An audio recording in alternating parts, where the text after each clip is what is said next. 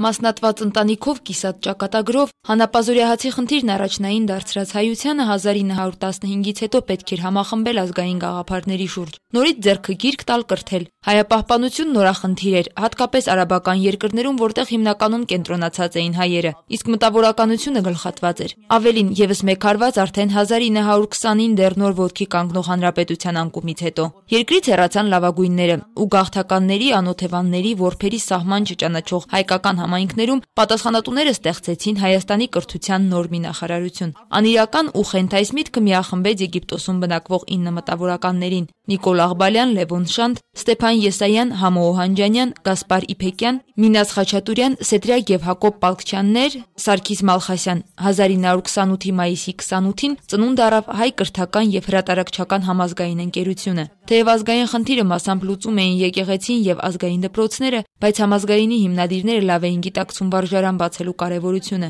Մի քանի նվիրյալներ ու հայ կարմիր խաչի խոստումը, տարեկան 2000 դոլար օգնություն։ Սա ամբողջն էր ինչից սկսվեց Բեյրութում հայկական ճեմարանի հիմնումը։ Մի կողմից նամակներ էին գրում Լիբանանի իշխանություններին ճեմարանի բացման թույլտվություն ստանալու, մյուս կողմից արդեն շենք էին փնտրում դասերը կազմակերպելու համար։ 1930 թվականի մարտի 3-ին բացվեց 15 աշակերտ ունեցող ճեմարանը ֆրանսիական լիցեի ծրագրերով եւ հայագիտական նյութերով։ Մեկ տարի անց Լևոն Շանթը, Նիկոլ Աղբալյանն ու 5 մանկավարժներ որոշեցին իրենց թոշակը տրամադրել դպրոցի կարիքները հոգալու համար։ Բացվեց համազգայինի թատերական շարժումը։ 1931-32 ուսումնական տարում աշակերտների թիվն ավելացավ։ Նախկին շենքն արդեն փոքր էր, անհրաժեշտ էր տեղափոխվել։ Այսպես տարեցտարի աշակերտների ավելանալուն զուգահեռ անհրաժեշտություն էր առաջանում փոխել դպրոցի շենքը, ավելացնել նոր մասնաշենքեր, որոնց հիմքում անոթն էր թանկագին մասունքներով։ Մի բուր հող հայրենիքից երագույնը ճեմարանականների վկայագրի օրինակ։ Ճեմարաններ ու վարժարաններ բացվեցին տարբեր երկրներում։ Դրան զուգահեռ սկսեց գործել համազգայինի տպարանը։ Լույս տեսան գրքեր, իսկ 1962-ից բագին գրական մշակութային հանդեսը։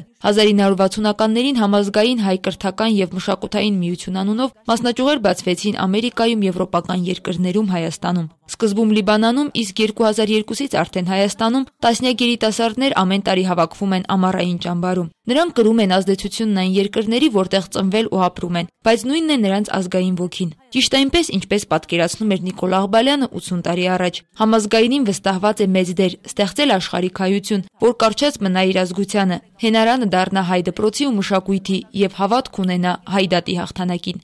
Լուսինե Ղարիբյան, Երկիրն այսօր։